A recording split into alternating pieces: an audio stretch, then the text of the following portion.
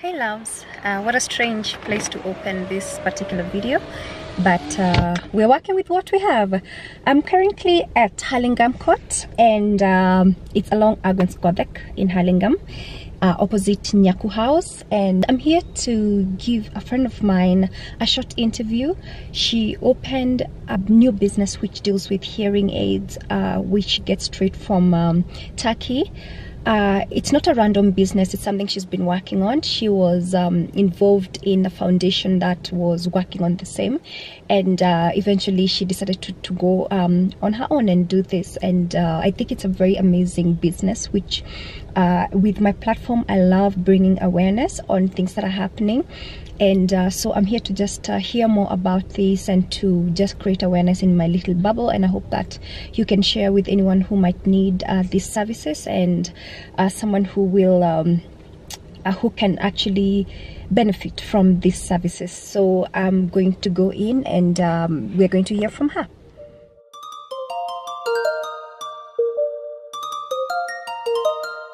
Jimmy on the track, so you know it's lit.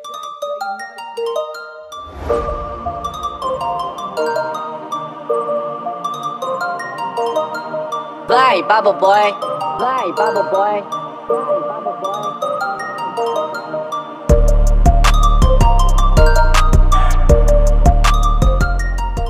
So guys, I am here with the beautiful lady who I just told you about. So I'll let her introduce herself and tell us why we're here. Thanks, Maureen. My name is Wanja Kitao. I'm an audiologist. I run a hearing center. I do hearing assessment, prescribe hearing aids, and also anything hearing related. yes, audiologist means somebody who diagnoses and helps uh, people who have deafness. Great. So um, I know you've worked in this industry for many, many years. How do the statistics look like? Uh, so currently, we have 466 million people in the world have disabling hearing loss. Oh wow, Yes. that's a huge number. And out of that, 34 million are children. So you can imagine. Okay, And uh, WHO estimated that by 2050, uh, 700 million people will have disabling hearing loss. So that's like one in every 10 people. Oh my goodness, that is a crazy number because I'm calculating and I'm saying that's almost that will be almost a 1000000000 and we're like what eight or nine billion people in the world. So it's actually more prevalent than Very. people actually think. And I can also imagine that number could be higher because other countries Yes. like our own Yes. doesn't have actual numbers. Right. Yeah. So My it would goodness. ideally be a big number. Wow, I'm in shock.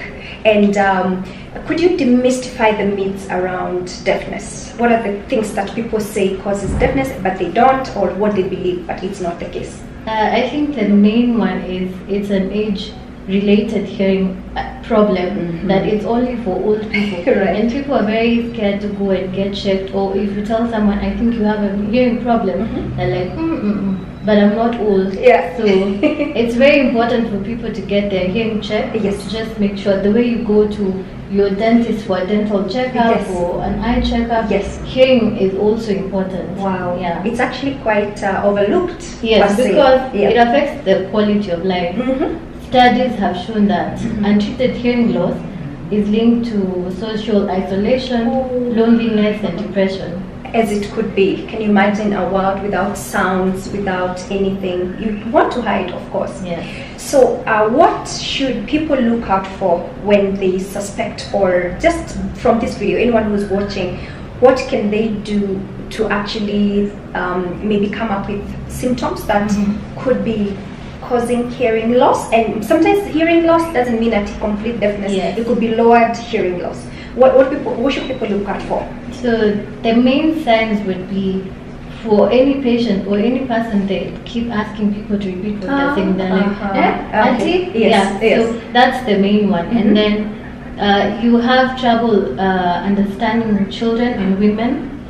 And then when you're watching TV, it's usually at a very loud volume. Uh-huh. And then you feel like other people are mumbling. Oh wow. Yes. Okay. And then again, Yeah. people will tell you, I think you have a hearing problem. Yeah. because every time they talk to you, they find you're struggling to communicate. True. Yeah. And it is a Kenyan way of making fun of that. Kwani wewe usikii kwani hauna masikio? Yeah, which is It's quite sad. it's sad. Yeah, because obviously it doesn't come from an informed uh, place. Mm. Uh, and uh, I'm also thinking even the, the person themselves would be using a very loud voice Yes. because they can't even hear themselves.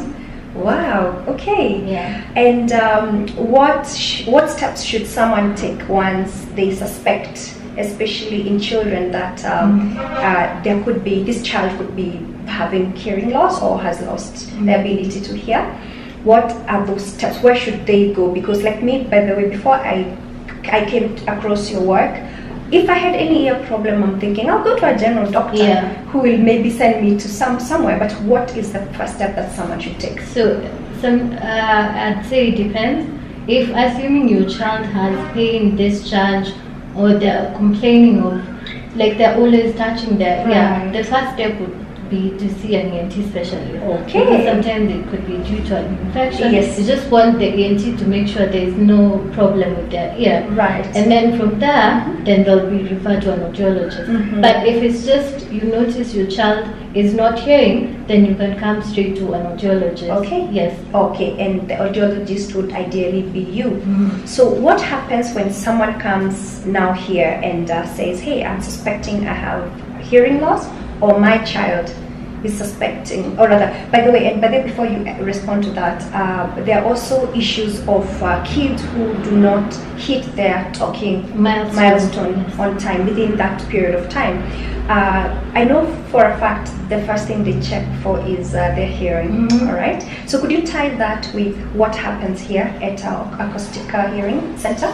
So for a child who hasn't met the, or achieved their milestones, um, first of all, I think we need to create awareness in what to look out for in terms of milestones. Mhm. Like in terms of at this age, your child should be able to be repeat what people are saying Okay. or to be making certain Yes, sounds. yes. So if we create that awareness, then parents will be more aware Right. and will be able to seek help Mhm. early enough. Okay. Because um, 60% of hearing loss can be preventable. Oh wow, Yes. sixty percent. That's a huge yes, number.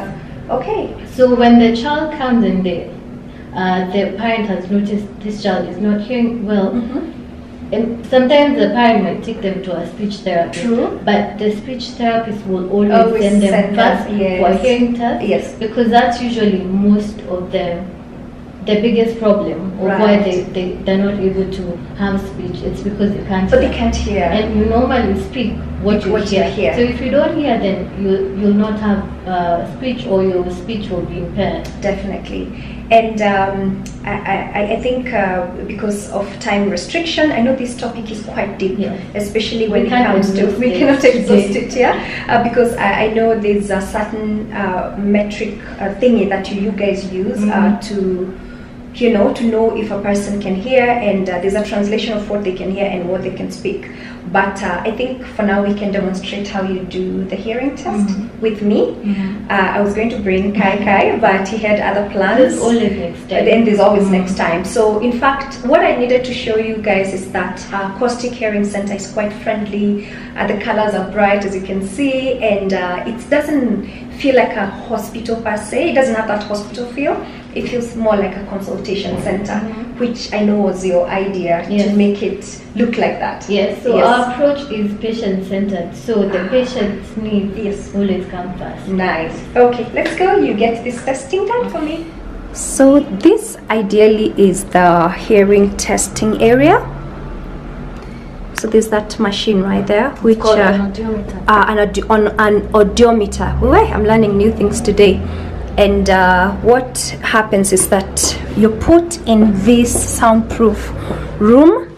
I'm going to keep everything open so that you can hear. You see now, Wanja is out there, and uh, it's practically soundproof. Let me close the door, and you you'll hear nothing.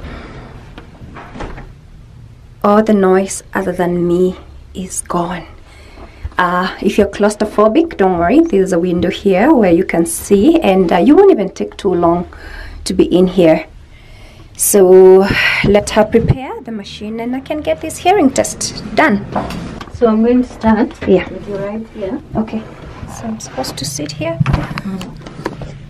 I've sanitized everything. Oh yeah, everything is sanitized. So So this is your response button. okay, So every time you hear a sound, Uh-huh. you're going to press Okay. and let go. okay. Sometimes the sound might be very low Uh huh. or sound like it's very far, Uh-huh. but as long as you hear the sound, just press. I just press. Okay, okay. so Yeah. I'm going to Oops, ruin sorry. It's okay. Mm, I'm glad I'm doing this, not baby Kai. Then we need to make sure it's comfortable. okay. Is it comfortable? Yeah, it is. So every time you hear a sound, Mhm. press and let go. Okay. Sometimes it might be very faint, Yeah. but press. Okay. So I'm going to start at a very uh, sort of loud sound, Mhm. but it's going to keep reducing. okay, okay, okay. Great. So I'm going to start with you right here. Okay. I'm ready.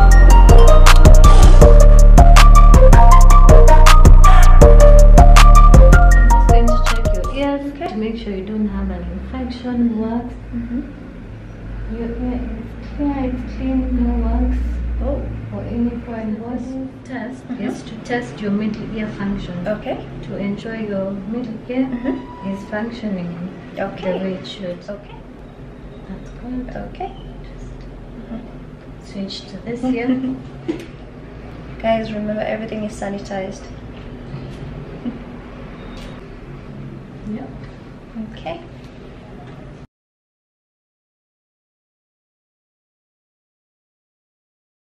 Considered deaf. Deaf Mhm. because it ha- uh, they have a profound hearing loss. Right. Yes. Okay. So there are different degrees of hearing loss. There's Uh-huh. mild, which would be about 25 to about 40. Okay. 40 to about 60 would be moderate.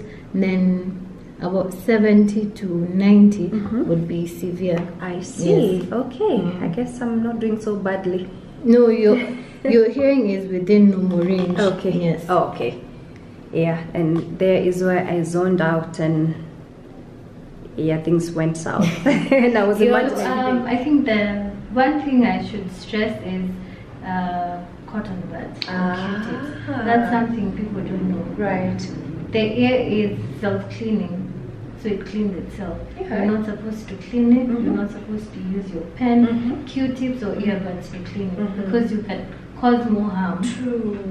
God. Yeah, when you're using your Q-tip or earbud, Mhm. you tend to push in wax, and sometimes wax can accumulate. Then it will be impacted. True. Then from due to the impacted wax, you can have temporary hearing loss, mm-hmm. but your hearing is reduced. True. But if you have that uh, wax removed, Mhm. then your hearing is sort of restored Okay. or it improves. Okay. Yeah. So if you suspect Yes. your child or you have wax, don't Mhm. remove it yourself. Mhm. Best thing is to see an ENT specialist Yes. or just an audiologist. Yes, in fact, I was going to ask where do you go with that? Because Mm. uh, we underestimate such things. Uh, same way, I think we all know an eye doctor somewhere, but Yes. an ear doctor or an audiologist, Mm. it's almost like a non existent Mm. thing. The other thing I should stress is for parents, do not self uh, medicate your kids Ah. because you hear parents putting oil in their ear and they cause more harm. True. So if your child has an infection, earache,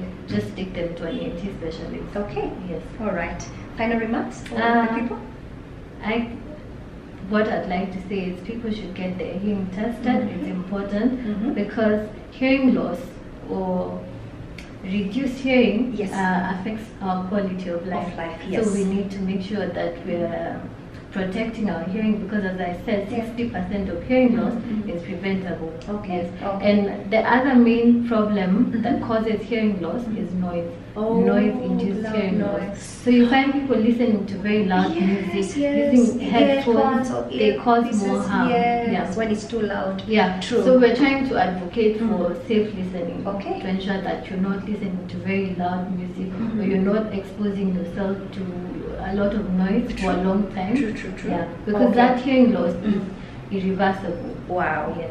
Okay, I think uh, that would be all for today. It's been a good day. First time I'm doing this in my life, or I remember as an like a whole adult, three decades old.